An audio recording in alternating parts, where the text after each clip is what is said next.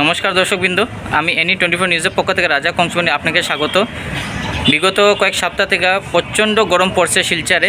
এত গরম পড়ছে কি মানুষজন ঘর থেকে বাড়ানি বন্ধ করে দিছে রাস্তাঘাট পুরা খালি। না না গাড়ি আছে, না মানুষজন আছে, রাস্তাঘাট পুরা খালি। এত গরম পড়ছে, সুস্থ মানুষ অসুস্থ হয়ে পড়তেছে। মেডিকেলে সুস্থ মানুষ অসুস্থ হইয়া ভর্তি হইতেছে।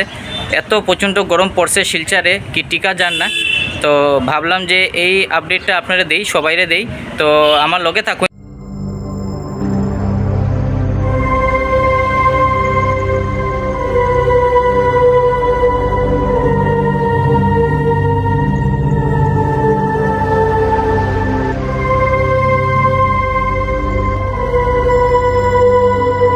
তো দর্শক, আজকের জন্য এতটুকুই।